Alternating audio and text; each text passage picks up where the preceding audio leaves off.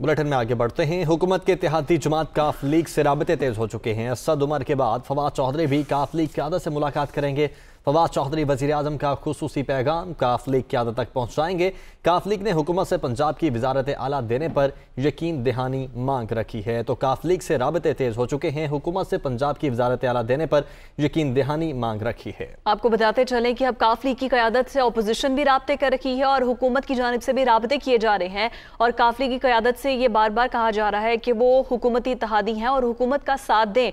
और हुकूमत से पंजाब की वजारत आला देने पर यकीन दहानी मांग रखी है काफ लीग ने और हुकूमत के इतिहादी जमात काफ लीग से रबते तेज। असद उमर के बाद अब फवाद चौधरी भी काफ लीग की क्यादत से मुलाकात करेंगे। फवाद चौधरी वज़ीर आज़म का खसूसी पैगाम काफ लीग की क्यादत तक पहुंचाएँगे। उमर जट हमारे साथ मौजूद हैं, उनसे मजीद बात कर लेते हैं इस बारे में। उमर, क्या हो सकता है मुमकिन तौर पर यह खसूसी पैगाम उमर हमारे साथ मौजूद होंगे। कुछ ही देर में अभी आपको बताते चलें कि फवाद चौधरी ने भी काफ लीग से रबता किया है और वज़ीर अजम इमरान खान का खसूसी पैगाम आज फवाद चौधरी ने जो है वो काफ लीग की क्यादत को पहुँचाया है। काफ लीग की जानब से पंजाब के वजारत आला के लिए यकीन दहानी मांगी जा रही थी और अब जो है वो ये खसूसी पैगाम वज़ीर अजम इमरान खान का फवाद चौधरी लेकर पहुँचे हैं और काफ लीग की आला क्यादत को पहुँचाया है।